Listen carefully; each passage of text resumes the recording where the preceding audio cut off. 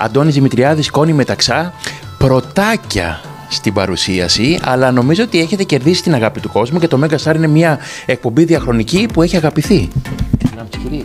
Ε, ο Αντώνης δεν είναι πρωτάκι, να πούμε. Είναι η δεύτερη του σεζόν στο Megastar. Έχει Ε, τεράστια εμπειρία. Εντάξει, τότε τρέμερ να το γλου. λοιπόν, πώς περνάτε; περνάμε πολύ ωραία. Ε, Εμείς μεταξύ μας περνάμε πολύ ωραία.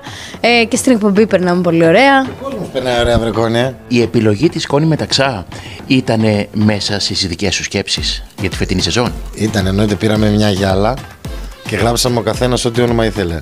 Και γράψαμε όλοι Κόνι, Κόνι, Κόνι, Κόνι. Οπότε βάλαμε το χέρι μες στη γυάλα και λέμε για να δούμε τι θα βγει. Κόνι Μεταξά. Και να τη εδώ. Απαστράπτουσα τη βλέπεις. Περνάμε πολύ ωραία εδώ. Είναι αξιαγάπητη. Νούμερα τηλεθέασης. Είναι κάτι που σας αγχώνει ή θέλετε εσείς να κάνετε ωραίες αξιοπρεπέστατες εκπομπές με καλούς καλεσμένους και περνάει σε δεύτερη μέρα το κομμάτι τηλεθέασης; Να απαντήσω εγώ σε αυτό ο μαθηματικός. Ε; Που έχω κάνει και διατριβή στα νούμερα. Έχω εδώ το χάρη. Ε, τι να σου πω τώρα, όταν βλέπεις εκπομπές ε, τεράστιες παραγωγές ε, χιλιάδων ευρώ να, να κάνουν ε, 5, 6, 7%. Ε, βλέπεις μετά μια φτηνή παραγωγή που μπορεί να κάνει 15%. Τελικά αυτό με τα νούμερα δεν το έχω πολύ καταλάβει, να σου πω την αλήθεια. Γιατί βλέπεις και το Megastar κάνει ένα 15, κάνει ένα 8, κάνει ένα 10, κάνει ένα 6, κάνει ένα δεκάρι. Δηλαδή συμβαίνει σε όλους. Υπάρχουν ναι, μεν οι, οι καθημερινές εκπομπές που είναι σταθερές, που αφορά κυρίως την ενημέρωση, την ψυχολογία, αλλά είναι και live.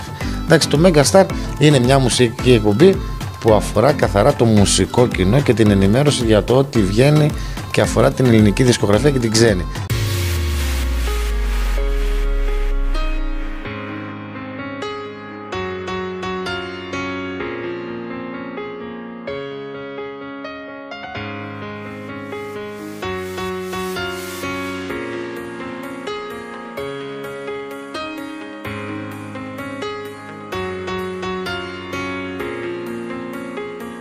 Κόρη μου, νομίζω ότι παίρνει το βάπτισμα του πυρός στην παρουσίαση ε, σε, λίγα, σε, σε μονοπάτια τα οποία νομίζω έχουν μια βάση καλή για σένα και γνωρίζεις τη μουσική γιατί και τραγουδάς, προέρχεσαι από μουσική οικογένεια και δεν ξέρω ε, αυτοί οι πρώτοι μήνες, το πρώτο μισό της σεζόν που έφυγε, πώς βρίσκεις αυτή την προσπάθεια που κάνεις; Σου αρέσεις; Ε, Αν μου αρέσω, με ρωτάς. Ε, δεν είμαι εγώ ο κριτής που θα πει αν είμαι καλή ή όχι, αν μου αρέσω ή όχι.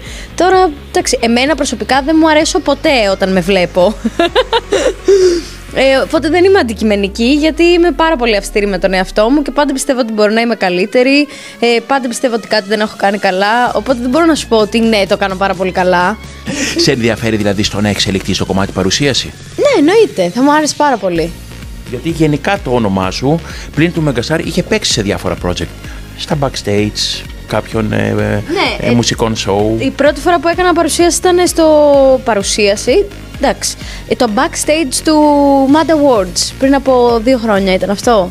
Νομίζω πριν, ήταν- πριν από δύο χρόνια.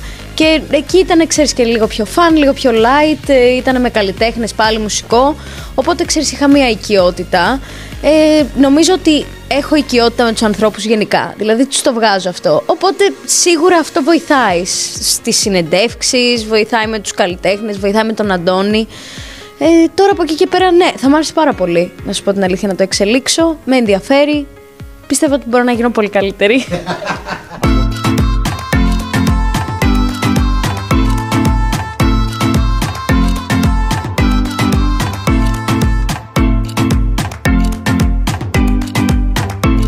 Έχετε πάρει ποτέ αυτό που λέμε αρνητικές απαντήσεις από καλλιτέχνες στο να μιλήσουν στην εκπομπή; Φαντάζομαι όχι, ε. Εννοείται. Εννοείται. Εννοείται, δεν θέλουν να έρθουν όλοι να μα. Και, και, και έτσι να, και, και να μην εννοείται. εννοείται. Να λέμε την αλήθεια. Δεν μας έχουν πει όλοι ναι.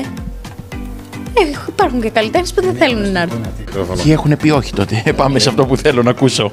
Ε, όχι, δεν μας έχει αρνηθεί κάποιος καλλιτέχνης γιατί μην ξεχνάς ότι έχουμε ε, και το σπίτι με το Μέγκα το οποίο κάνει ένα κύκλο μαζί με το Mega Star. Οπότε από συνέντευξη σε live και συνέντευξη σε live καταλαβαίνεις ότι έχει δημιουργηθεί ένα, μια σχέση με τους καλλιτέχνες και με την πρώτη ευκαιρία ε, μετά το σπίτι με το Μέγα ή πριν εμφανίζονται και αυτοί στο Μέγα Star να δώσουν την είδηση. Βάζει δηλαδή με το ζόρι ο Αντώνης, αυτό θέλει να σου πει. Μου το είπε με τρόπο. λοιπόν, μιας και λέμε για σπίτι με το Μέγκα. Κάτι δίνεις, κάτι παίρνεις στη ζωή. Μιας και λέμε σπίτι με το Μέγκα, θέλω να κλείσω με δύο-τρία ονόματα που τα ζητάει πάρα πολύ ο κόσμος και θα ήθελα να τα δει μέσα. Τον Πασχάλη Τερζή. Όχι, δεν θα σε πάω τόσο πολύ γιατί ξέρω ότι ο Πασχάλης Το Τερζή. Σταύρο Ξαρχάκο. Λοιπόν, Όχι, δεν- Νότι Φακιανάκη θα ερχόταν ποτέ. Το τρίτο θα μου θα έλεγα. Έχω, έχω κάνει τσε- ό,τι ενέργεια μπόρεσα να κάνω για να επικοινωνήσω. Δεν έχω καταφέρει να επικοινωνήσω με τον άνθρωπο. Νίκος Βέρτης. Τον σέβομαι, τον εκτιμώ απεριόριστα και τον Νίκο Βέρτη. Τα έχω- έχουμε, έχουμε πει σαν σπίτι με το Μέγκα, έχουμε ενημερώσει τους καλλιτέχνες, όλους αυτούς που φαντάζεσαι, που θα με ρωτάς τώρα συνέχεια, Πασχάλη Στεριζά, τους έχουμε ενημερώσει. Από εκεί και πέρα, εμείς έχουμε, έχουμε δείξει ότι η αγκαλιά είναι ανοιχτή σε όλα τα μουσικά κοινά και σε, ό- η μουσική για μας θεωρούμε ότι είναι μία η βραδιά, είναι αυτοτελή για τον καθένα. Εντάξει. Εμείς έχουμε ενημερώσει όσο με ρωτήσεις, μην μας ρωτήσεις, τους έχουμε πει ότι η πόρτα είναι ανοιχτή. News Peace and Friends, γιατί στο ένθετό μα μιλάνε μόνο φίλοι. Να τους ευχηθούμε καλή επιτυχία και τους ευχαριστούμε πάρα πολύ.